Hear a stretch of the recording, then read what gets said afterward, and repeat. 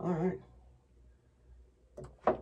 You're listening to your hometown radio classic 1220. You're listening to here with Farley, and I got your main man, Call Karl. He's from the Remax in Uptown here, right next door, uh, across uh, on Lake Street here. Karl, Karl, welcome back Yeah. to the show. yeah, thank you very much, Farley. Uh, always exciting to be here. Fun being in the in the booth with you today. Yeah, yeah. So it's a fresh week, and obviously we know uh, how the housing market goes. Every week's a, a fresh new day, so to speak. So what's happening this week? Oh, for sure. Well, we're in the midst of uh, of the spring market, first week of May. Optimism's in the air, uh, and uh, the the market is uh, is hitting the ground and it's it's running. It's uh, it's it's a healthy market. It's doing really well, and I, I'm getting to work every day with a with a purpose. That's so awesome. I'm, yeah. I'm assuming also this time of year, being spring, everyone's spring cleaning either their actual house or getting rid of a house, selling and moving and all that stuff. Is this a little bit more of a time people do move because it's nice out whatnot? Yeah, absolutely. Uh, you know what? The most popular day of the year for people to actually close their homes is the is the final Friday of, of June. It's that it's that date Okay. where everyone has this uh, mindset that they're going to have this new chapter, this new beginning. Come, you know that that first of July, Yeah, yeah. get into the home.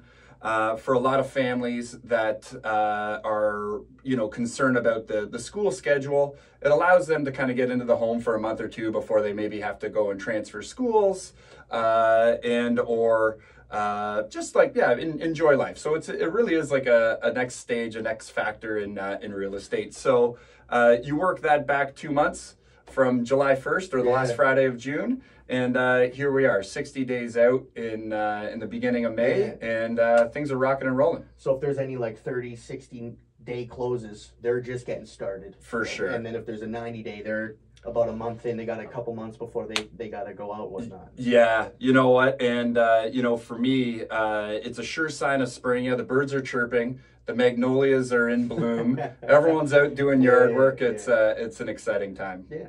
Now it is spring and we're outside, but I don't- I'm not sure if you're a hockey fan. Yeah, absolutely. But uh, the Leafs are actually going into Game Six tonight, and this is related to housing. I promise. um, let's say in Toronto, the Leafs make it all the way, hypothetically, and they Yeah. win the cup. Whoa. Does that affect the housing market? In I know we're farther from Toronto, but is there like a ripple effect? And when something like that happens, you- uh, the housing market in relation to the Leafs. Now, there's a there's a, a fantastic analyzation study. I can tell you, you know, like play off of uh, of that analysis.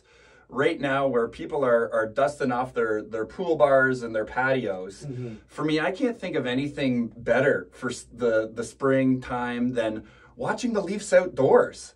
So if people are are on this uh, bandwagon, fan wagon journey with the Maple Leafs, like me and my family are, yeah, yeah. then yeah, absolutely, they're thinking about like where to set up the TV outside, where they're going to have friends and family, and for me, it's all about congregating with uh, with loved ones and and cheering on the blue and white. So Yeah. I think that does promote backyards and uh, how we can all live our best lives in our backyards. Gotcha, Um, yeah. yeah. Because I've always wondered that because we have, and then like if either if the Raptors win or the Blue Jays win, that stirs up a lot of people are just excited and people are more willing to sometimes spend money. And Yeah. I know housing is a little bit more on the extreme end, Sure. but I'm you know let's say the, one of them goes on a few year run and they do really well for three years. A lot of people are gonna, in my mind, feel like they're gonna move maybe closer, be a little closer Yep. to the hub because they want to be part of that magic that's going on in the city at the moment. I like it. I'm never going to look at the spring market uh, the same way uh, again, knowing that uh, you know people are going to be investing in these backyards and uh, patio pool bar setups if Yeah. uh, their team goes on a big run. And they so got those little mini projectors now that you can shoot onto like the side of the house. yes, So, uh, or if you have a big wall in the back, yeah, I've, I've Hey, done a couple of those. They're work. They work. Improve your surround sound stereo. Oh yeah. Right? Yeah. Hey, get a little, uh, you know, 1220 on the radio, maybe when the, the game isn't playing. Exactly. Yeah. In So, between. Yeah. yeah. Intermissions, you get some classic rock going for sure. For sure.